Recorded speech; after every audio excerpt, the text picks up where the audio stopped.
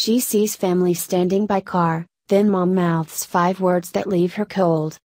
When Tia Withers headed to Walmart to pick up some groceries, she thought it was just going to be a regular old shopping day.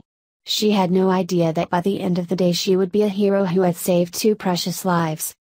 The Reynoldsburg, Ohio, woman had just finished running her errands and buckled her two kids into the car when she noticed something that made her stop.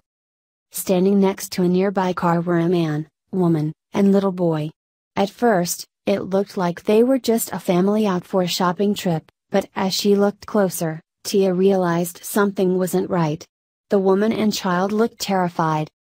When the man turned his back for a second, the woman looked at Tia and mouthed five words that left her cold.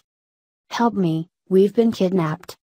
Stunned, Tia tried to wrap her mind around what she had just seen and figure out what to do next. Before she could get over to them, the man started yelling at the woman and child to get back in the car, saying he would kill them if they didn't comply.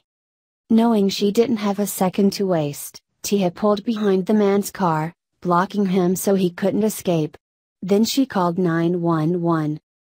Realizing he had been found out, the man angrily threw his car into reverse and slammed it into Tia's car. Scared for her own children's safety, Tia moved out of the way, but as the man fled the parking lot, she stayed on his tail, all the while giving police details on his car and location.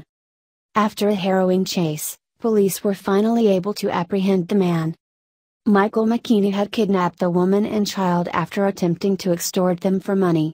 He had driven them all the way from North Carolina. Police took McKinney to jail and charged him with kidnapping, extortion, and drug possession. Thankfully, Tia trusted her gut when it told her something wasn't right and her bravery and determination that day saved the mother and child's lives. Does this story encourage you to trust your gut when something seems off? So share this, or this,